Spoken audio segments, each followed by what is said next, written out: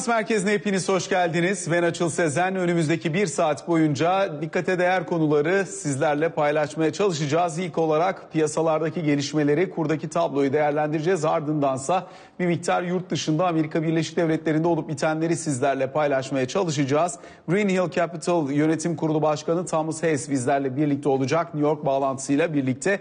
Onun arkasındansa futbolda e, Türkiye Futbol Federasyonu'nun aldığı liglerin başlaması kararını kulüplerin finansal olarak buraya ne kadar hazır olduğunu, bundan sonra sürecin nasıl işleyeceğini değerlendirmeye çalışacağız. Arkadaşımız Sefer Yüksel bizlerle birlikte olacak. Programımızın geri kalan bölümünde ise yine Habertürk yazarı Güntay Şimşek'le birlikte olacağız. Özellikle Türk Hava Yolları'nın Haziran, Temmuz ve Ağustos dönemine ilişkin açıklamış olduğu uçuş planı buna dair detaylar. Aynı zamanda yine bundan sonraki süreçte havacılık tarafında hem havalimanı işletmecilerinde hem diğer tarafta neler olabileceğine dair senaryolar kendisiyle tartışacağımız gündem maddeleri arasında yer alacak. Biz hızlıca önce piyasalarda rakamlar bize neler söylüyor onlara göz gezdirelim. Kur tarafındaki hareketten bahsettik. Bugün tarihi zirvesini geçti dolar TL. 7.25 seviyesinin üzerini gördük. Fakat sonrasında özellikle bundan bir saat kadar evvel Bankacılık Düzenleme ve Denetleme Kurumu'ndan 3 e, yurt dışı kuruma ilişkin olarak yapılan bir açıklama vardı. Bu açıklamanın piyasa üzerinde etkili olduğunu gözlemledik. Bu şirketlerin Türkiye ile yaptıkları yurt dışı üzerinden yaptıkları swap'ta bundan sonraki süreçte ikinci bir açıklamaya kadar kesinti olacağı yönündeki ifade. Bu kurumların ellerindeki varlıkları bir noktadan sonra o pozisyonları bozarak Türkiye'ye getirmek durumunda olacağı varsayımıyla piyasada bir dalgalanma yarattı. 7.09'lara kadar e, geldik e, burada 7.25'i gördükten sonra ancak şu sıralarda yeniden fiyatlamanın 7.16'lara kadar bizi taşıdığını gözlemliyoruz. Dolayısıyla kur tarafındaki hareketlilik e, sürüyor diyebiliriz. Euro TL tarafında da 7.73.88 seviyesinde bir fiyatlama olduğunu aktaralım. Sepet kur sabah saatlerinde 7.5 liranın üzerindeydi. Şu sıralardaysa bir parça daha aşağıda e, 7.45 civarında bir sepet kur söz konusu. Bununla birlikte yine Diğer gelişen ülke kurlarına tablo nasıl diye baktığımızda dün oralarda sert satışlar söz konusuydu. Bugünse dün satılan para birimlerinin önemli ölçüde alındığını gözlemliyoruz. Güney Afrika randı, Meksika pesosu, Rus rublesi hemen hemen hepsinde yüzde birin üzerinde yukarı yönlü hareketler e, var bugün baktığımızda. Türk lirası buraya göre de bir miktar negatif ayrışmıştı. Fakat sonrasında DDDK'nın açıklamasının ardından biraz önce söylediğimiz pozisyonlanma bizi yeniden diğerlerinin yanına doğru taşımışa benziyor. Onu da aktarmış olalım. Brezilya reali bugünün negatif ayrışan para birimi o da Fitch'in not indiriminin ardından tarihi düşük seviyelerine doğru yaklaşmış görünüyor. Bununla birlikte yine e, özellikle Borsa İstanbul'da yatay kurdaki yükselişe rağmen pozisyonunu koruyan bir duruş vardı. Şu an itibariyle de endeksin yeniden 99 bin puan seviyelerine yakın yerlerden günü sürdürdüğünü söyleyelim. Bir ara 99-250'lere kadar gittik ama oralardan gevşeme söz konusu olmuştu. Şu dakikalarda da biraz önce söylediğimiz gibi 99 bin puanın eşiğinde işlemler sürüyor. Burada sanayi endeksteki yukarı yönlü hareket endeks için biraz daha belirleyici. Onu da aktarmış olalım. Avrupa borsaları %1 civarında yukarıda. Bizse bunun da e, belli ölçüde yine yansımasını gözlemliyoruz, izliyoruz, takip ediyoruz. E, Avrupa borsaları içerisinde baktığımızda e, Londra'da %1'in üzerinde prim var, Paris'te %1.25 DAX şu anda biri geçti. İtalya'da ise %0.5'lik primler söz konusu. Amerikan vadelilerine bakalım. Orası da yine kuvvetli yukarı yönlü hareketlere işaret ediyor. %1,5'a yakın Dow Jones, Nasdaq ve S&P 500 vadelilerini yukarıda görmeye devam ediyoruz. Emtia piyasasındaysa Brent petrol 31,5 doların üzerine attı. 26 doların üzerinde de Amerikan tipi ham petrol fiyatlaması var. Altınsa yeniden küçük küçük hamlelerle 1700 dolar seviyesine doğru yaklaşıyor. Piyasa rakamları bizlere bunları söylüyor. Şimdi gideceğiz New York'a. New York'ta Great Hill Capital e, Yönetim Kurulu Başkanı Thomas Hayes bizleri bekliyor. Thomas, good morning. Merhaba, günaydın. Size de günaydın Açıl Bey. Nasılsınız? Çok teşekkür ederim. Son açıklanan sayılarla başlamak istiyorum. E, haftalık işsizlik baş, başvurularına başlamak istiyorum. Bu konudaki görüşünüzü alabilir miyiz? Çünkü biliyoruz ki pandemi e, dönemi boyunca bu sayı 33.5 milyona ulaştı. E, Ne düşünüyorsunuz? Evet, aslında işsizlik maaşı başvurularının devam ettiğini gördük Ee, ki bu zaten beklentilerin de e, kötüsüydü. Ee, 19 milyonluk bir şey bekleniyorlardı ve işsizlik maaşı başvuruları da 3.17 milyon 3.17 milyon geldi ve zaten ADP e, raporunda da görmüştük bunun açıklandığını dün. Ee, şu an e, yaklaşık olarak kayıpların yüzde altmışının ulaşımdan, e, eğlence ve e, konaklamadan geldiğini görürsünüz. Bir tarafta iyi haber olmakla beraber bir tarafta da kötü bir haber. Çünkü bunun e, geçici kayıplar olduğu anlamına geliyor. Virüs durumu geçtikçe işler yavaşça ancak kesinlikle normale dönecek anlamına geliyor. Çok önemli bir soru bu. çünkü şayet genel e, duruma bakacak olursak ABD ekonomisi genel olarak değerlendirdiğimiz zaman e, yeniden açıl, e, açılma başlayınca ve şeklinde işsizlik tarafında bir toparlanma bekleniyor. Bununla katılıyor musunuz? V mi yoksa U mu olur yoksa tik işareti mi olur ancak biraz daha aslında hızlı olacak. Bence insanların beklediğinden daha hızlı bir toparlanma olacak ve bunun sebebi de şu. Şayet Çin'de olanlara bakacak olursanız Çin'deki vakalar Şubat ayında pik yapmıştı ve biz de ABD tarafında o pik noktasına iki hafta önce ulaşmış durumdayız. Ve ee, eğer hava trafiğine bakacak olursanız 4 milyona çıkmıştı ve bu Mart ayında 8 milyona çıktı ve Nisan'da biraz daha artmıştı. Yani Mart'tan beri Çin'de durum iyileşiyor. ABD'de de şimdi biraz daha iyiyiz. Birkaç hafta önce örneğin Nisan ayında TSA'ya bakacak olursanız ki bu e, havalimanlarında check-in yapan insanlara bakacak olursanız sadece 90 bin insanın e, kapılardan geçtiğini görürsünüz ve e, pazartesi günü ise 170 bin insanın e, bu kapılardan giriş yaptığını görürsünüz. Yani işlerin biraz daha yavaşça da olsa toparlandığını görüyorsunuz. Ancak 2 milyondan düşüş oldu tabii ki. Geçen yıl böyleydi. Ancak ne olursa olsun toparlanma işaretleri olduğunu görüyoruz. Şu an e, petrol istasyonlarında e, 4 hafta öncesiyle kıyaslandığı zaman daha fazla talep olduğunu görüyoruz. Ancak yavaşça da olsa bariz bir şekilde insanlar işe dönmeye başlıyor. Bütün bu işaretler sistemde bize ne gösteriyor? 2.8 trilyon dolarlık yardım paketi var. E, 4 trilyon dolarlık e, bir e, varlık alım programı var. Mesela FED de zaten 2.5 trilyon dolardan fazla şu an bilançosunu arttırmış durumda. Bütün bunlar çok önemli tabii ki. Ne zamana kadar insanlar işe dönmeye başladığı zamana kadar çok önemli olacak ki o zaman da talep biraz daha toparlanabilir. Bu e, talep tekrar toparlandığı zaman ve teşvikler de ekonomiye tamamen etki etmeye başladığı zaman e, o kadar kötü görünmeyecek. Ancak bu yılın dördüncü çeyreğinde ve 2021'in ilk yarısında insanlar şaşıracaktır aslında. E, önümüzdeki büyüme verilerine bakıp şaşıracaklar. Lütfen Çin'e bakın. Negatif 15.7'lik bir ihracat bekliyorlardı. Ancak 3.5'lik bir artış gördüler ihracatlarında. Lütfen bunu unutmayın. İki buçuk aylık bir e, gecikmeyle de olsa ABD'de de ve gelişmiş ekonomilerinin devamında da önümüzdeki dönemlerde bunların olduğunu göreceğiz elbette. Önemli bir başka soru da teşvik paketleri söz konusu olduğu zaman sürekli duyduğumuz e, bir kelime var. FED Başkanı e, Richard Clarida'nın söylediği bir şey var. Onun kelimesine sizin nasıl bir tepki vereceğinizi merak ediyorum. Çünkü piyasa tepkisi oldu biraz ki şunu söyledi kendisi. Belki daha fazla teşviğe ihtiyaç var dedi. ABD ekonomisinin toparlanması için siz ne düşünüyorsunuz? Bence bu e, işsizlik verilerinin ya da istihdam verilerine bakacak olursak senato çok önemli. Senato pazartesi günü işe dönüyor ve pazartesi günü ADP olsun e, bize aslında bu e, işsizlik verilerinin devam edeceğini gösteriyor ve bu da tabii ki ABD senatosunun bir başka teşvik paketini ortaya çıkarmasının arkasındaki sebep oluşturabilir. Buna sebep olabilir. 500 milyon diyor bazıları, bir bazıları da 1 trilyondan daha fazlası olacağını söyleyenler var ancak e, demokratların 500 milyar dolardan daha fazla bir paket istediğini biliyoruz. Belediyeleri yardımcı olmak için koronavirüsle mücadele etmeleri için ancak e, e, altyapı projeleri için 1 trilyon e, dolarlık bir paket istediklerini söylediklerini de duyuyoruz. Aynı şekilde altyapı çalışmaları için ancak son olarak çok büyük bir paket açıklandı biliyorsunuz. Talep de tekrar geri gelmeye başladıkça 30 eyalet yeniden e, açıldıkça e, sanırım pazar günü bir kez daha tekrar açılmaları göreceğiz ve kısıtlamaların biraz daha kalktığını göreceğiz. Bu paket için iyi bir noktaya gideceğiz. Belki de insanların ceplerine doğrudan e, ödemeler de olabilir. 200 dolar olabilir mesela.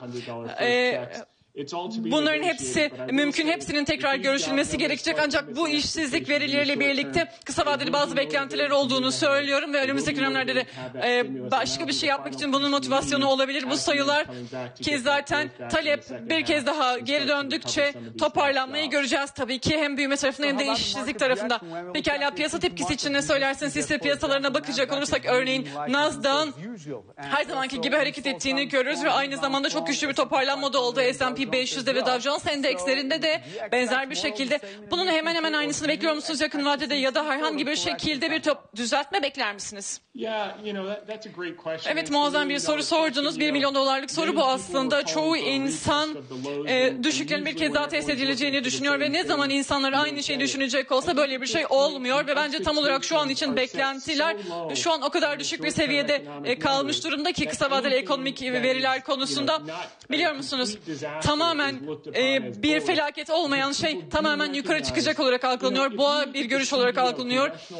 Örneğin e, bilanço e, ofisinin 2020 için büyüme beklentisi negatif %5.6'lık bir yıllık e, büyüme yani daralma. 20 trilyon dolarlık bir ekonomiden bahsediyoruz. 1.2 trilyon dolarlık ekonomik daralmadan, ekonomik kayıptan bahsediyoruz. Bunu bir kez daha hesaplayacak olursanız 10 trilyon dolar toplam olarak teşvik paketi hem yardım hem de likidite olarak verilen şeyle birlikte kıyaslandığınız zaman bu sayıların çok alakasız kaldığını görüyorsunuz. Kıyaslanamaz bile. Yani e, bu noktada 9 trilyon dolardan daha fazla bir yardım var ve o ekonomik daralmanın üstünde çok üstünde kalıyor ve bununla birlikte 2021'de 2022'ye dönüp bakacak olsak büyüme aslında e, çok daha üstünde kalabilir. Koronavirüs olmadan görebileceğimiz herhangi bir şekilde büyümenin çok daha üstünde kalabilir. Çünkü şu an için sisteme çok fazla para likidite, likidite enjektesi yapılıyor. Evet Clary de haklı. Büyük ihtimalle ekstra bir trilyon dolarlık daha fazla e, paket açıklanabilir bu işsizlik verileri yüzünden ve bu uzun vadede insanların işine e, kavuşması için ve ekonomik büyümeyi geri getirmek için iyi olabilir.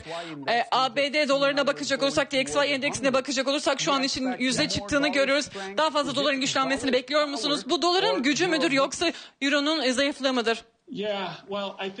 Evet bence şu an için karmaşık bir durum var. İnsanlar uzun vadede büyümeyi görüyor ancak kısa vadede güvenlik istiyor olabilir. E, dolar e, çok güçleniyor çünkü şu an insanlar dolar almak istiyor, hazineye gitmek istiyor. Bence bu zaman içinde ılımlaşabilir. Çünkü gelişmiş piyasalar yavaş yavaş tekrar kısıtlamaları gevşetmeye başladıkça ya da insanlar bir kez daha işlere gittiği zaman evlerine para getirmek isteyeceklerdir ve bir kez daha e, daha iyi bir ortam ortama kendilerini bulduklarını görünce biraz daha parayı harcayacaklardır, biraz daha yatırım yapmak isteyeceklerdir. Ben bunun önümüzdeki aylarda gevşemesini, ılmamasını bekliyorum. Thomas Hayes, thank you Thomas Hayes, bugün bize katıldığınız için çok teşekkürler. Ben teşekkür ederim Açıl Bey. Evet Thomas Hayes'in görüşleri böyleydi. Şimdi kısa bir araya gideceğiz. Sonrasında Sefer Yüksel'le birlikte piyasalarda özellikle futbol tarafına, piyasalardan biraz uzaklaşıp futbol tarafında olup bitenleri değerlendirip yorumlamaya çalışacağız.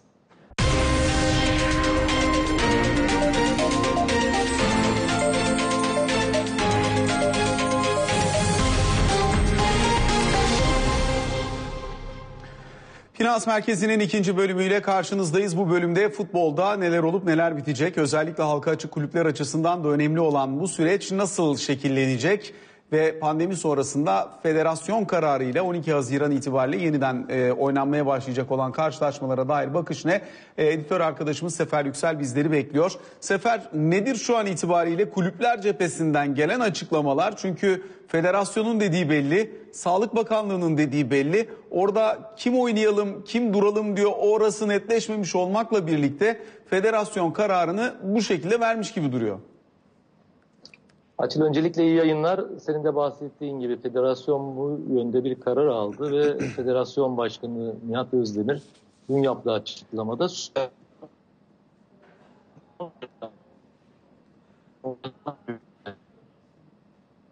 Sefer'le bağlantımızda şu an itibariyle bir problem var. Ee, arkadaşlar o bağlantıyı hemen yeniden kurmaya çalışacaklar. Ben bu arada durumu bir parça toparlamaya çalışayım. Türkiye Futbol Federasyonu Başkanı Nihat Özdemir dün itibariyle yaptığı açıklamada 12 Haziran haftasında yeniden ligleri başlatma kararı aldık demişti. Dolayısıyla aslında Türkiye Futbol Federasyonu'nun bu kararı sonrasında oyun nasıl şekillenecek, seyircisiz oynanacak gibi görünüyor. Her kulüp kendi ilinde, kendi şehrinde oynamaya devam edebilir diye de açıklamaları oldu Sayın Nihat Özdemir'in. Dolayısıyla şu anda elimizdeki bilgiler, veriler bunlar. Fakat oyunun esasları nasıl şekillenecek?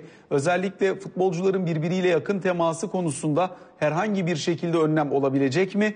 E, buradaki güvenlik önlemi, sağlık güvenliği önlemleri nasıl olacak? Bunları da yakından izleyip takip etmek gerekecek. Zira idman e, görüntülerini izlerken elinde futbol topu olan oyuncuların ya da malzemecilerin e, bunları belli bir şekilde dezenfekte etmeye çalıştığını gözlemliyoruz. Özellikle bu ürünler yani top e, veya forma gibi ürünler üzerinde dezenfektanla çalışma sağlanırken veya soyunma odaları benzer şekilde dezenfekte edilmeye çalışılırken fiziksel temasın olduğu futbol gibi bir sporda örneğin serbest vuruşlarda baraj nasıl kurulacak? Kornerlerde veya e, yine ikili mücadelelerde e, buradaki önlem nasıl alınacak gibi çok sayıda soru da var. Elbette bunlar sadece Türkiye'deki sorular değil, benzer şekilde Bundesliga'da da e, faaliyetler başlayacak, oyun e, başlatılacak yeniden. Premier Lig yine devam kararı aldı.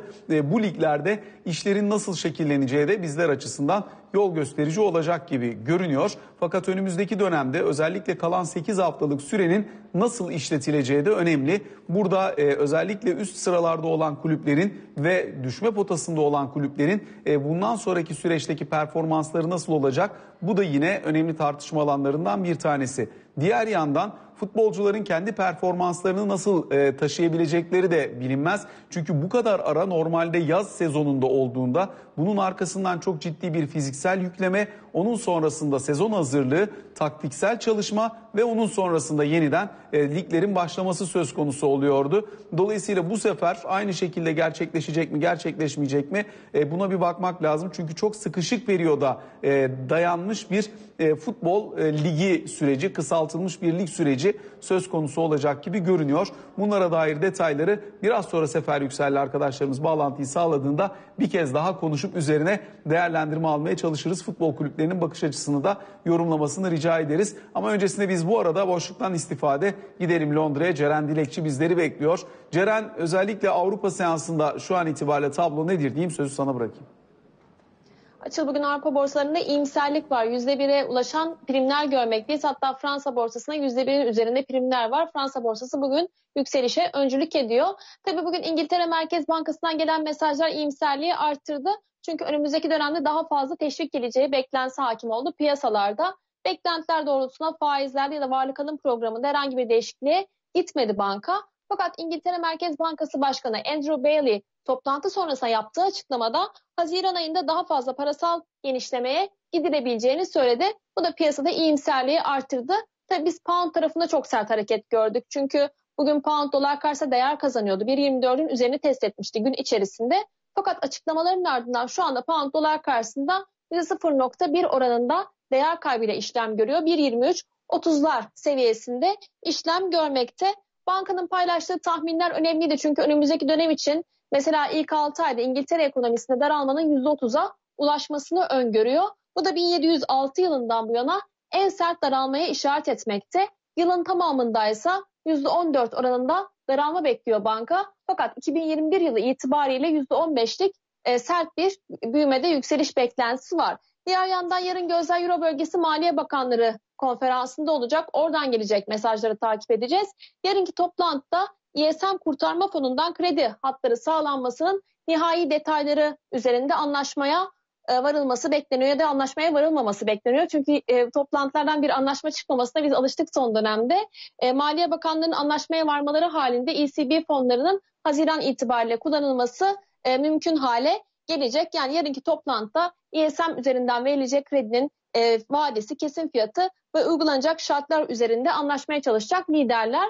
Fakat bu hafta konuşmuştuk Alman Mahkemesi'nin ECB'ye dönük verdiği karar.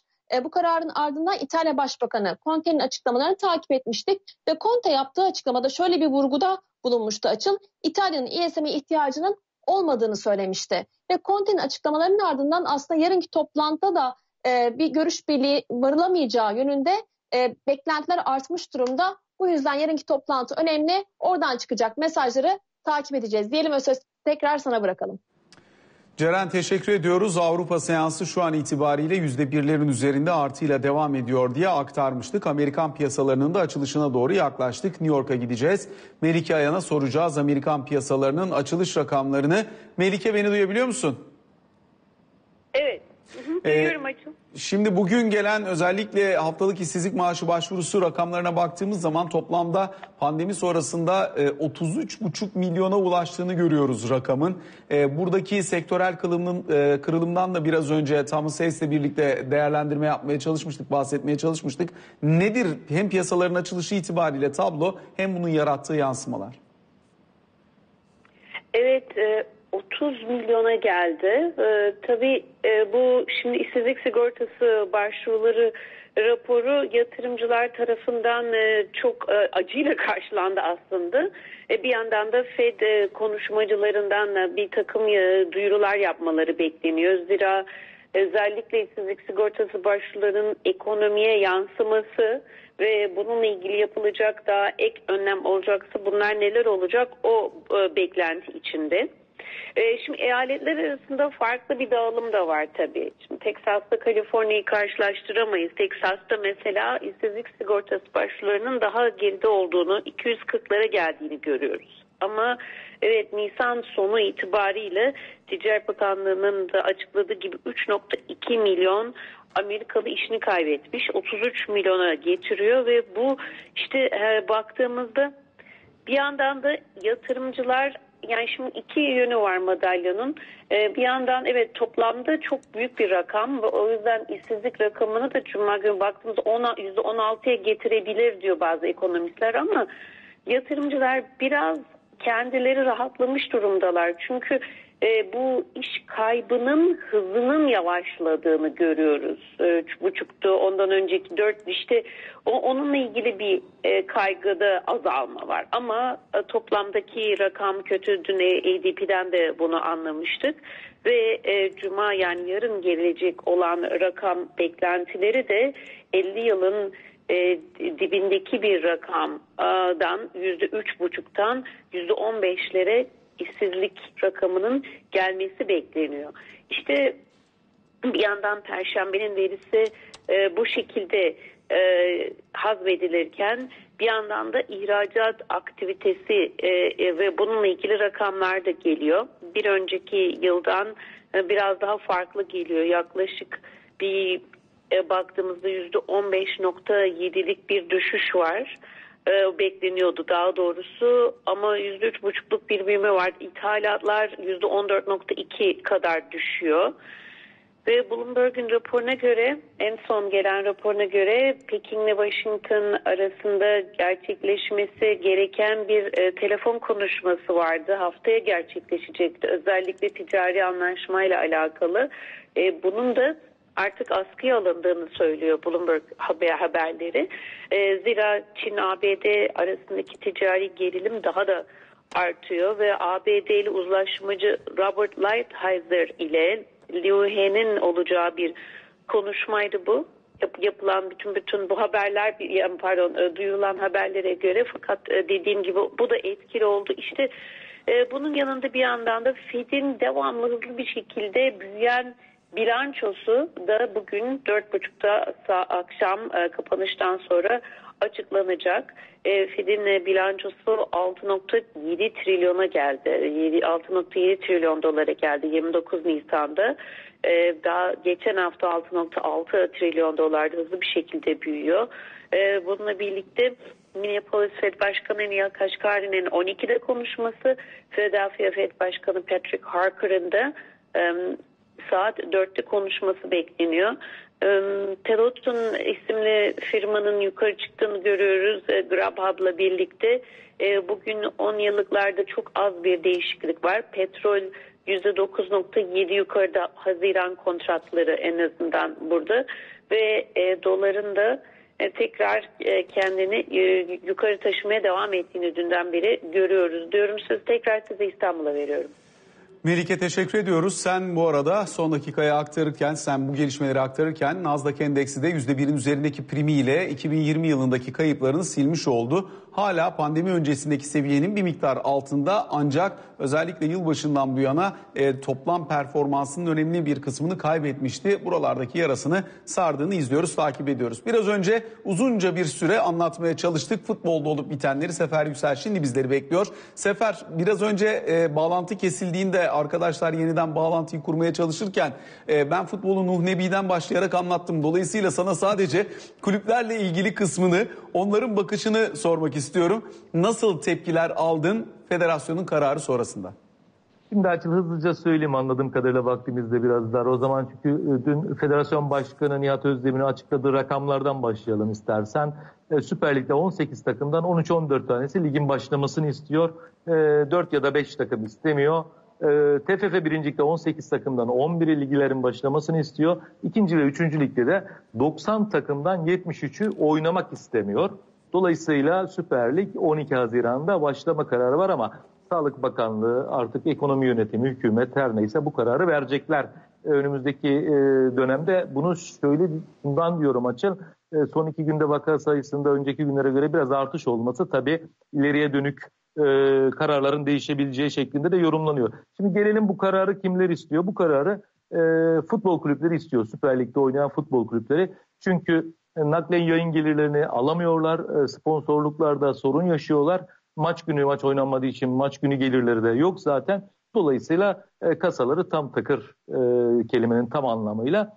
Bir de Mart ayında seninle daha önce yaptığımız programda da konuştuk. Mart ayında oynanan 3 haftanın ödemesini de yayıncı kuruluş henüz yapmış değil. Ancak bu noktada bir bilgi daha verelim. Önümüzdeki 2-3 gün içinde bu konunun karara bağlanacağı ve ödemelerin yapılacağı şeklinde bilgi aldım. Hatta bunun bir niyet göstergesi Zeytin Dalı olarak da e, izleyicilerimizden bilmeyenlere de aktaralım hafta sonu e, yayıncı kuruluşta canlı olarak Süper Lig'in 18 e, takımından futbolcular bir e-spor turnuvasında yarışacaklar. Bunu da yayıncı kuruluş e, canlı bir şekilde yayınlayacak. Burada da biraz aslında kulüplerin, kulüpler birliğinin yayıncı kuruluşa bir favor olarak yorumlar yapılıyor. Dönüyoruz. Önemli bir nokta daha var. Nihat Özdemir'in de dün açıkladığı. Biliyorsun sene daha önceki programlarda konuştuk. Bu yıl ilk defa harcama limiti uygulaması vardı kulüplere. Ocak ayı itibariyle ikinci transfer dönemi itibariyle başlamıştı. Bu konuda çok tartışmalar da olmuştu. Şimdi e, tabii ki olağanüstü bir dönemden geçilip kulüpler ciddi bir e, gelir kaybına uğradığı için şu anda federasyonun lisanslama kurulu, ilgili kurul e, tekrar rakamlar üzerinde çalışıyorlar. Önümüzdeki yıl için, transfer dönemi için kulüplere yeni bir transfer limiti belirleyecekler. Anladığımız kadarıyla orada da çok önemli bir gevşeme olacak. Biraz istersen açıl Avrupa tarafını da değineyim. Avrupa'da zaten izleyicilerimiz de biliyor. Fransa ve Hollanda ligleri bitirdi, tescil etti. Ancak UEFA'nın bir kararı var. 25 Mayıs'a kadar planlama istiyor UEFA. Dolayısıyla e, Bundesliga'da 15 Mayıs'ta seyircisiz başlaması planlanıyor. İngiltere Mayıs sonunda liglere seyircisiz başlatmak istiyor. Ve İtalya ve İspanya diğer e, kulüpler bu e, sezonu tamamlamak isteyen ligler olarak öne çıkıyor. Tamamı seyircisiz olarak planlanıyor. Hatta bir örnek vereyim. Dünyanın en büyük kulüplerinden Manchester United'da bir açıklama yaptı. Her ne karar alırsa alsın federasyon biz e, Aralık 2020'ye kadar bütün maçlarımızı seyircisiz oynatacağız dedi. O tarafta bir e, şey e, risk almak istemiyorlar.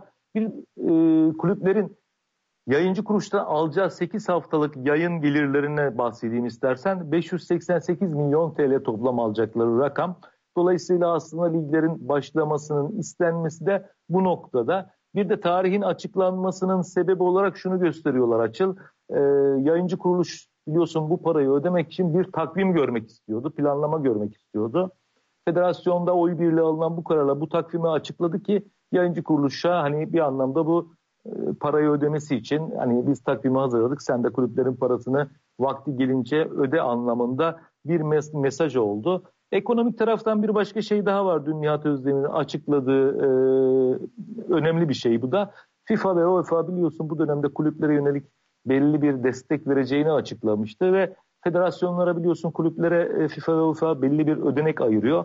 Nihat Özdemir dedi ki içinden geçtiğimiz süreçten dolayı biz bu FIFA ve UEFA'dan bu rakamların biraz daha erken ödenmesi yönünde başvurularda bulunduk. Bu rakamlar zaten bize geliyor. Bir gün bile beklemeden biz kulüplere iletiyoruz diye e, bir açıklama yaptı. Sözün özü e, son karar henüz tam olarak verilmiş değil. E, ama 12'sinde başlayacağına kesin gözüyle bakılıyor liglerin. E, tabii ki bu yani insan sağlığı, toplum sağlığını ilgilendiren bir olay olduğu için e, buna biraz daha siyasi otoritelerde karar verecek gibi gözüküyor açıkçası. Sefer peki bu noktada tabii soru işaretlerinden bir tanesi örneğin yayıncı kuruluşun e, bu noktadan sonra ödemeleri yapmaya başlayıp başlamayacağı. Çünkü burası büyük bir sıkıntıydı. Sonuçta eğer ligler yeniden oynanacaksa o ödemeler başlayacak mı? Buna dair herhangi bir geri dönüş var mı?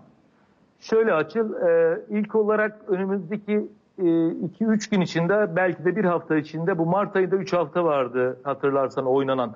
Şubat'ın son günleri ve Mart'ın ilk günleri bir haftasıydı. 19 Mart yanlış hatırlamıyorsam zaten ilkler tatil oldu. Oradaki 3 haftanın parasını istiyordu kulüpler. Onlar oynandı bari Mart ayını alalım diye. İlk başta bu e, oynanan 3 hafta Mart ayının paraları gelecek.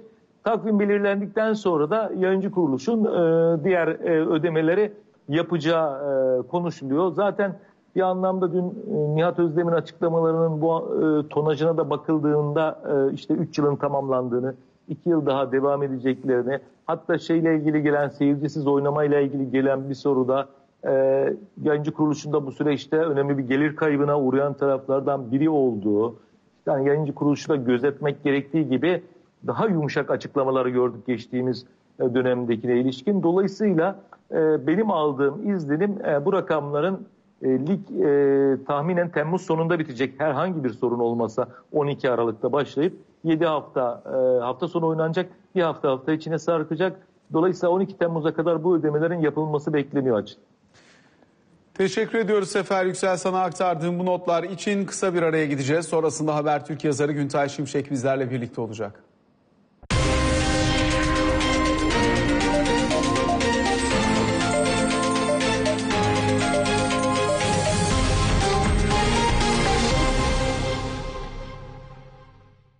Finans Merkezi'nin son bölümüyle karşınızdayız. Habertürk yazarı Güntay Şimşek karşımızda. Güntay Şimşek hoş geldin yayınımıza. Hoş bulduk. Şimdi özellikle havacılık tarafında yaşanan gelişmeleri bir kez daha. Son dönemde zaten pandemi hikayesi ön plana çıkmaya başladığından bu yana hep konuştuğumuz gibi yine bunun üzerine konuşmaya çalışacağız. Zira bu hafta önemliydi. Türk Hava Yolları'ndan gelen açıklamalar. Haziran ayı itibariyle iç hat uçuşlarında %60 performansla başlanması. Ayrıca haftalık 25 uçuşla yurt dışında çeşitli destinasyonlarla uçuş planlamasının yapıldığına dair açıklamalar önemliydi. E, bu tabloyu nasıl değerlendirmek lazım? Şu anda e, önümüzdeki sürece ilişkin hakikaten bir takvim var ama bu takvimin uygulanabilirliği konusunda herkes kendi hazırlığını yapıyor mu? Şimdi birincisi Türk Hava adına kamuya yansıyan, medyada yer alan haberler çok doğru değil. Oradan e, haberi yapanlar anlayamamış galiba. Türk Hava kendi içinde bir taslak yapıyor. Nerelere uçma imkanımız olabilir, uçabiliriz diye. Bu da dışarıya sızınca ki ben görmüştüm mesela bunu hemen gerçekleşecek haber gibi verdiler. Durum öyle değil. Yani o bir defa o yansıyan ve Haziran işte 28-29 Mayıs'ın Mayıs'ın sonunda iç hat, Haziran'da da dış hat planı diye yansıyanlar doğru şeyler değil. Henüz onların izinleri alınmış değil. Türkiye'de ilgili otoritelerden onay alınmış değil. Çünkü bundan sonraki süreçte özellikle dış hat uçuşlarında tek başına bir hava yolunun alacağı kararla operasyon yapacak durumda değiliz. Hatta şu an Avrupa'da Open Skies uygulaması yapılıyordu. Yani Avrupa Birliği içinde isteyen istediği yere uçuyordu. O bile tartışılıyor. Ülkeler kendi aralarında uçuşları izne bağlamaya çalışıyorlar. Benzer durum Türkiye için daha fazla önem arz ediyor. Dolayısıyla bizim burada kağıt üzerinde çalıştığımız işte Haziran'da Almanya'ya uçabiliriz. Oradan çok fazla turist geliyor. Rusya'ya uçabiliriz. Bunların gerçekleşme şansı şu aşamada biraz zor görünüyor. Çünkü hiçbir görüşmeler yapılmış değil. Bir de sürece sağlık otoriteleri de dahil olduğu için her ülkede ve bizim ülkemizde de hem Sağlık Bakanlığı, Sağlık Bilim Kurulu'nun görüşleri bunlar önem atfediyor. Bunları devreye sokacağız. Dolayısıyla beklemek lazım. Bir de yine TAE'nin o kamuya yansıyan Haziran'da dışarı uçuşu diye şuralara yapacak diye bahsedilen yerlerin benim TAI tarafından öğrendiğim kadarıyla bunların en fazla %25'inin falan gerçekleşme şansı var Haziran içinde. Şimdi tabii e, özellikle dış hat uçuşları için karşı taraflı ülkelerle birlikte bakanlık üzerinden bir mutabakata varılması, sonrasında bu mutabakatla hava sahalarının karşılıklı açılması söz konusu olacak diye biliyoruz. Doğrudur değil mi? Aynen öyle. Daha önceden şey yapardı. iki ülke arasında ikili hava anlaşmaları olurdu. Denirdik işte Türkiye'den mesela Almanya'ya haftada işte şehir bazlı da bunu konuşurlar veyahut da toplam uçuşta 100 uçuş TİHA'ya yapacak veyahut da dezikne başka bir hava yolu da devreye sokulabilir. Yani toplamda 100 uçuş yapacak. Bizden de size 100 uçuş.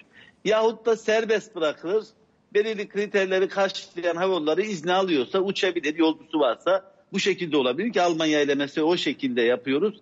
Birçok ülkeyle ise ikili hava anlaşması yapıyoruz. Onlardan haftada bize 10 sefer geliyorsa biz de en fazla 10 sefer yapabiliyoruz. Bu durumda olan da Rusya var.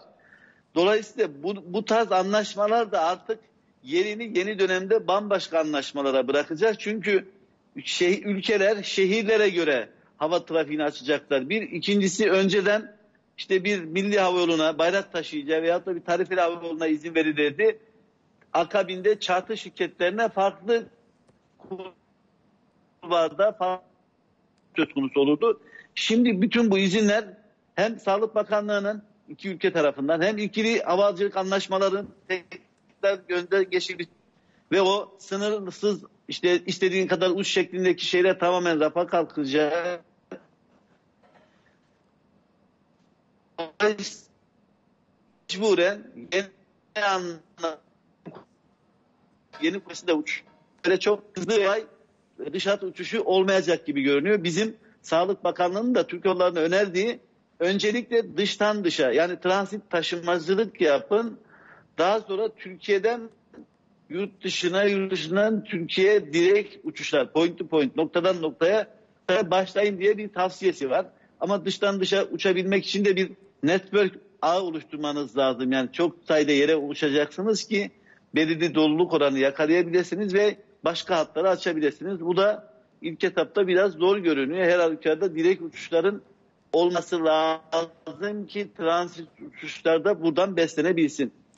Peki iç hat tarafı için ne söylenebilir diye de sorayım sana çok kısaca Güntay. Çünkü e, iç hatta özellikle seyahat sınırlamasının kaldırıldığı çeşi, e, çeşitli şehirler var ki bunların içerisinde turizm açısından çok önemli olan işte Muğla gibi, Aydın gibi, Antalya gibi şehirler de var. Dolayısıyla iç hat uçuşları için tablo nedir?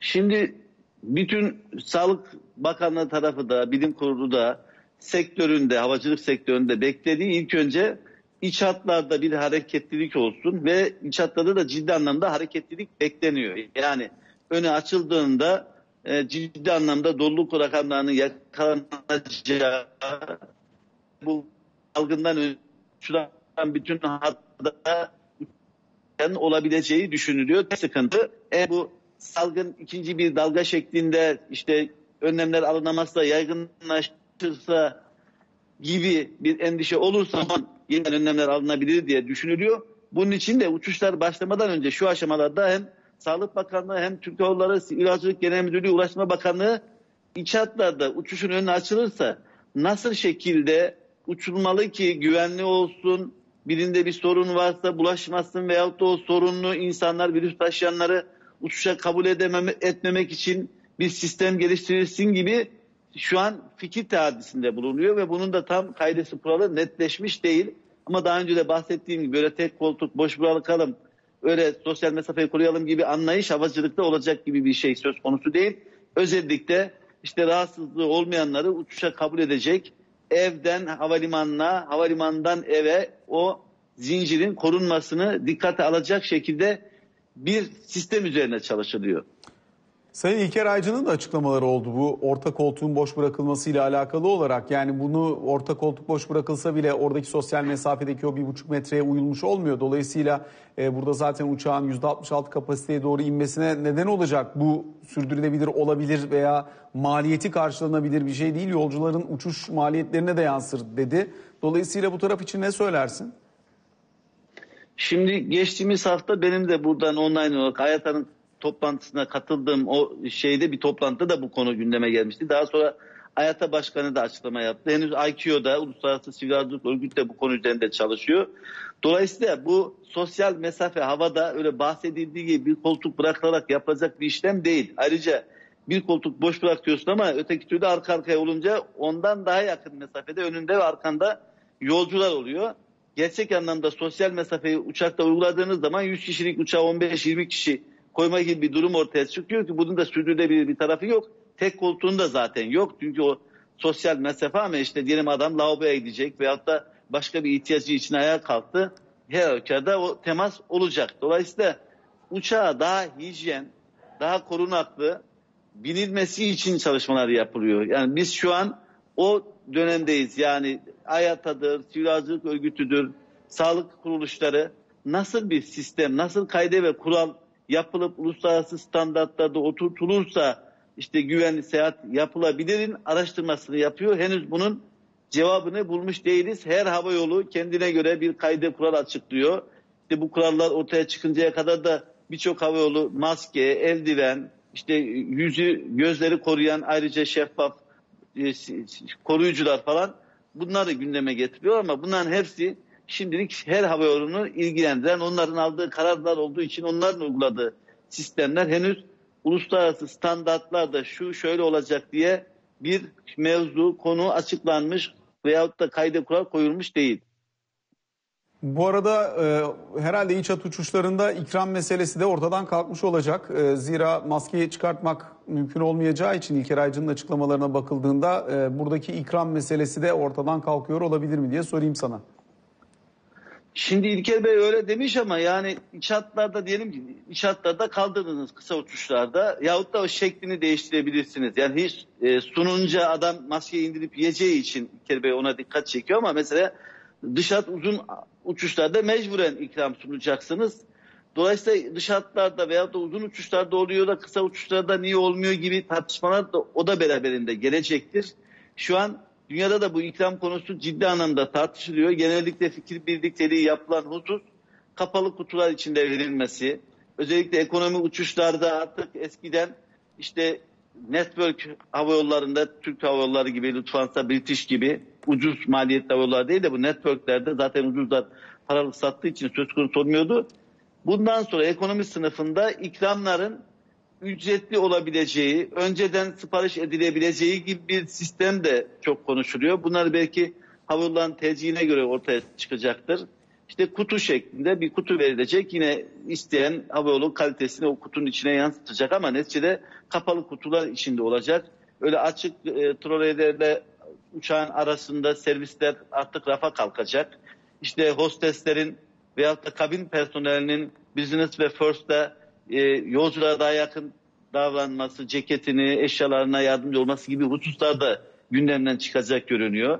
E, ikram konusu henüz tam bu da netlik kazanmış bir husus değil. Yine bu da Uluslararası Sivil Havacılık Örgütü'nün, AYATA'nın aynı zamanda e, Havalimanları Birliği'nin, Dünya Havalimanları Birliği'nin hepsinin gündeminde olan bir konu. Hepsinden görüşler toparlanıyor, soruluyor. Hava yollarına da soruluyor.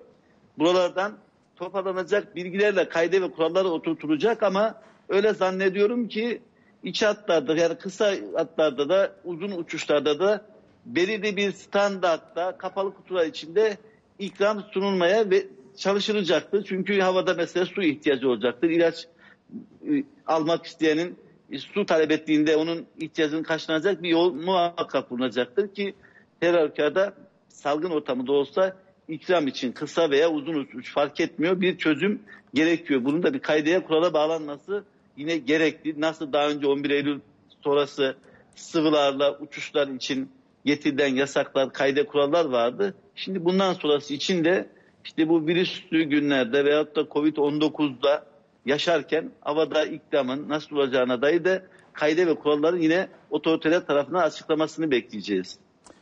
Güntay Şimşek çok çok teşekkür ediyoruz. Aktardığın değerlendirmeler ve yorumlar için sana. Böylelikle bugün için Finans Merkezi'nin de sonuna gelmiş oluyoruz. Kısa bir aramız var. Sonrasında Gözde Özköseoğlu sizlerle birlikte olacak. Kapanışa doğru da. Hoşçakalın.